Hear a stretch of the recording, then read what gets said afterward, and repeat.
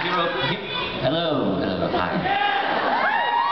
Uh, let's see. Well, Hiro starts off kind of where we let, uh, left off uh, in Volume 4 uh, with the whole nosebleed situation that there, he's going through an illness, and possibly a terminal illness, and uh, he gets that kind of bad news and realizes what his true destiny in life with is, uh, and he starts out the episode, kind of this, this volume, uh, starting uh, at Yamagato. He goes back in Yamagato and uh, starts a new business with his uh, best friend um, Ando.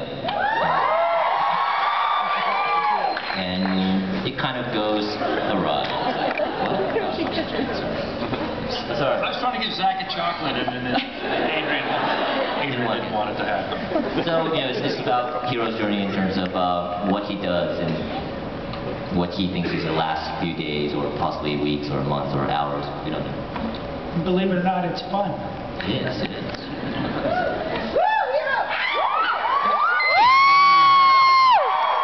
it my?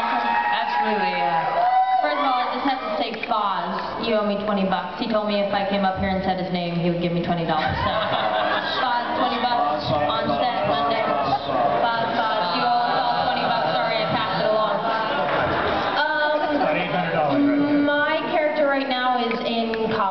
freshman year. Um, kind of gets a little bit of a taste of that normal life she's been chasing and, and becomes friends with a very, very interesting girl.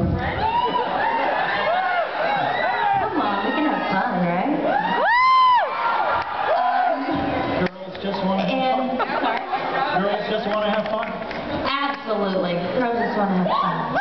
Um, and uh, she catches something and, and kind of accidentally finds out about me and, and questions, and she becomes a good friend and a confidant, and and um, all goes amok, I'm sure, at some point. I've only read through episode five, so uh, we have a very interesting relationship, as you just saw. Um, and she's kind of a fish out of water in college, and we'll see what happens from there.